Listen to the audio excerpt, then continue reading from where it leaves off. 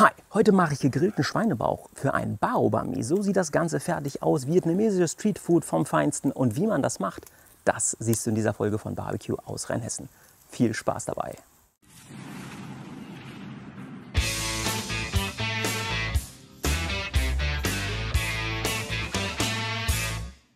Hier seht ihr die Zutaten, die ich für mein Bao Bami brauchen werde. Bami ist aus dem Vietnamesischen und heißt nichts anderes als belegtes Brot. Und genau so etwas machen wir heute. Ich habe gestern Bao Buns gebacken. Wie man das macht, habe ich euch schon mal in einem Video gezeigt. Ich kann euch nur sagen, diese gedämpften Burger Buns sind der absolute Kracher. Solltet ihr auf jeden Fall mal nachmachen. Geht ganz, ganz einfach. Verlinke ich euch gerne unten, wie ihr die selber machen könnt. Dann haben wir hier ein paar wunderschöne Scheiben vom Kräuterschwein. Habe ich beim Schwarzwälder bestellt. Link dazu findet ihr unter der Videobeschreibung.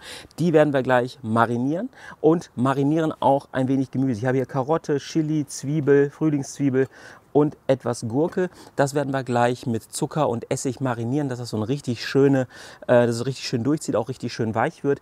Der Geschmack in Verbindung mit dem gebratenen Schweinefleisch, Leute, ist ein absoluter Knüller. Äh, des Weiteren benötigen wir noch ein wenig Sushi-Mayonnaise und für die Schärfe ein wenig Sriracha. Das sind alle Zutaten, die wir brauchen. Zubereiten werde ich das Ganze auf dem Chichirin-Grill von Meteor.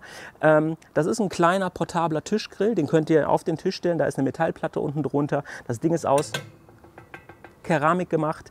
Ähm, könnt ihr so auf den Tisch stellen, soll jetzt nicht vielleicht unbedingt ein Holztisch sein. Ähm, und dann könnt ihr am Tisch direkt grillen. Natürlich nur draußen, ist selbstverständlich.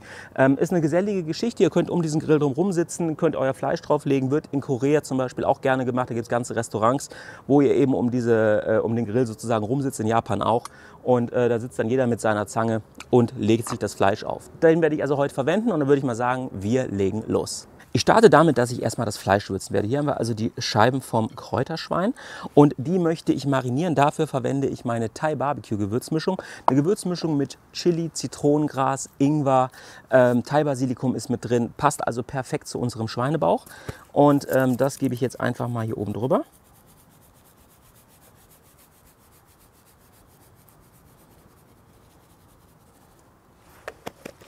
Dann wird das Ganze gut verrieben riecht ein bisschen einmassiert. Und dann würzen wir natürlich noch die Rückseite, das heißt also alles einmal umdrehen und auch hier wieder einreiben. Wunderbar, das Fleisch ist fertig mariniert. Das wandert jetzt noch kurz in den Kühlschrank, kann ein bisschen durchziehen und ich kümmere mich ums Gemüse.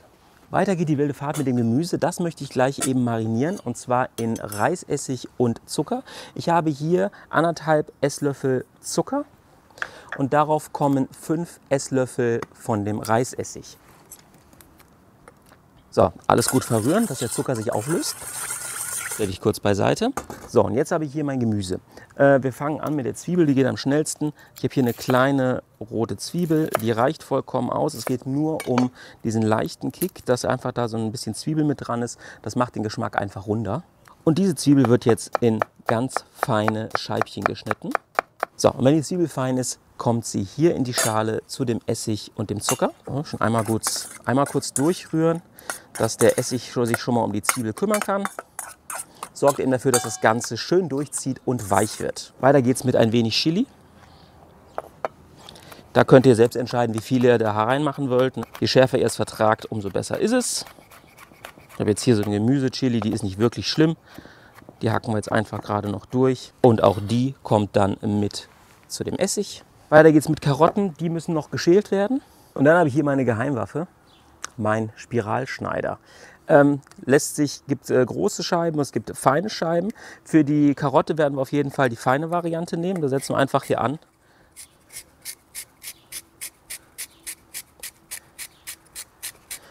Und dann kriegen wir hier solche Spaghetti daraus. Das Ganze sieht dann später so aus. Das Ende von der Karotte können wir heute leider nicht verwenden, beziehungsweise das bringt uns jetzt hier nichts. Aber ich habe hier noch eine. Die jagen wir jetzt auch noch gerade hier durch. Und ihr seht, wir kriegen so richtig schöne Spaghetti draus. Mit dem Ding kann man auch super geil ähm, Zucchini-Spaghetti machen. Ja, wenn ihr auf äh, Weizen verzichten möchtet oder sowas und dann wollt ähm, eure Bolognese eben mit Zucchini-Spaghetti essen, mit dem Ding geht es hier. So, wenn wir dann die Spaghetti haben, die Spaghetti sind natürlich jetzt ewig lang, gehe ich jetzt einmal so mit dem Messer gerade da durch, dass wir da kleinere Stücke draus bekommen. Damit ist die Karotte klein genug und darf mit an den Essig. Jetzt wird das Ganze wieder durchgerührt, dass der Essig mal Tuchfühlung aufnehmen kann. Jetzt brauchen wir nur noch ein Stück Gurke.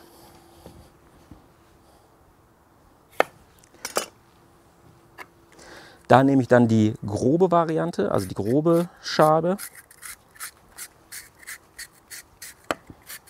Auch hier gehe ich noch einmal so mit dem Messer durch, dass wir die ein bisschen kleiner kriegen. Und auch dann darf das jetzt mit an die Karotten, Chili, Zwiebel. Und damit ist das Gemüse fertig. Denn die Frühlingszwiebel, die ich hier habe, die werde ich gleich noch über den Chichirin-Grill ziehen, wenn der heiß ist, dass die richtig schön Röstaromen kriegen. Das passt einfach perfekt. So, alles nochmal schön durchrühren. Solange ihr am Boden immer noch seht, dass Essig da ist, ist da auch genug drin. Wunderbar, damit ist das Gemüse fertig vorbereitet, wandert in den Kühlschrank und wir starten das Grillen. Ich starte damit, dass ich jetzt erstmal die Frühlingszwiebeln von ihren Wurzeln befreie und dann sie einmal so halbiere. Falls da vertrocknete Enden sind, könnt ihr die natürlich auch abschneiden, aber die hier habe ich heute Morgen frisch geholt. Die sind wunderbar. So, und dann ist mein Chichirin-Grill richtig heiß und da lege ich jetzt einfach die Frühlingszwiebeln drauf. Ich will die einfach nur anrösten will die anrösten, damit die schön weich werden. Die fallen dann auch in sich zusammen. Und aber der Geschmack, den sie halt abgeben, der ist halt einfach sensationell. Und kaum liegt die Frühlingszwiebel drauf, riecht es hier auch direkt nach gebratener Zwiebel. Das Ding hat richtig Schub und äh, wir werden das jetzt ringsherum anbraten. Einfach immer wieder mal drehen. Ich denke mal, sie braucht so gute fünf Minuten dafür. Danach kommen die in das Schälchen, dürfen noch weiter zusammenfallen. Das wird das perfekte Topping für unser Baobami. Okay, vergesst das mit den fünf Minuten. Nach drei Minuten sind wir eigentlich so weit, dass wir die Frühlingszwiebeln runternehmen können. Schaut mal her.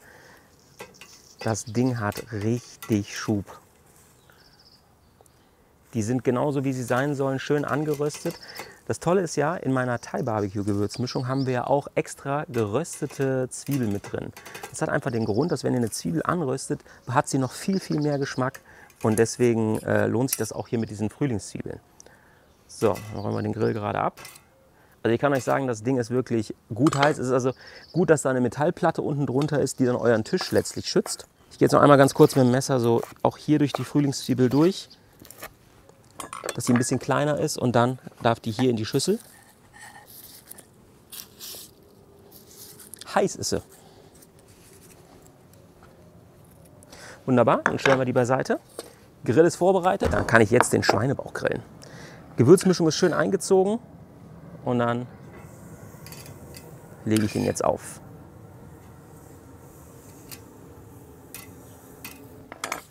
Und der wird jetzt richtig schön angeknuspert. So, kurz Zeit später können wir dann den Schweinebauch schon das erste Mal drehen.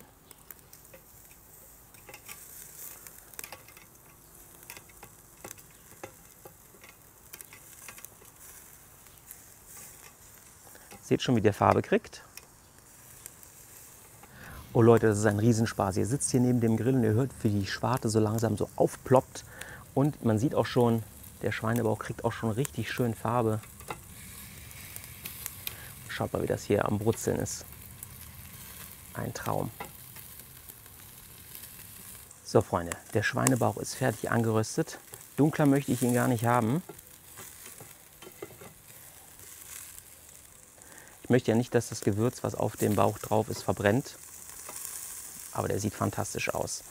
Nehme ich jetzt runter. Und dann kann ich mein Baobami endlich zusammenbauen. Das heißt, wir schneiden mal eins von diesen Broten auf. Die sind einfach unglaublich fluffig.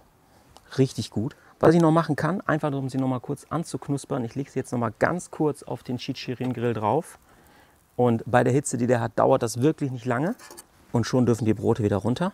Schaut mal, ruckzuck haben wir da Röstaromen drauf. So, dann habe ich hier eine Scheibe von meinem Schweinebauch. Den schneide ich jetzt in kleine Stücke. Natürlich müssen wir aus Qualitätssicherungsgründen mh, mm, ja, ich glaube, das geht durch den TÜV. So, und jetzt, Freunde der Nacht, klappen wir das Baoban auf. Dann kommt erstmal eine ganz dünne Schicht von der Sushi-Mayonnaise. Quasi als Grundierung. Dann habe ich hier mein Gemüse. Einmal durchmischen und ein klein wenig abtropfen lassen. Das hier drauf geben.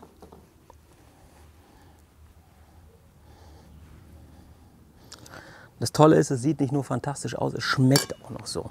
So, jetzt habe ich hier meinen schön gebratenen Schweinebauch. Dann folgt jetzt nochmal ein wenig Sushi-Mayonnaise.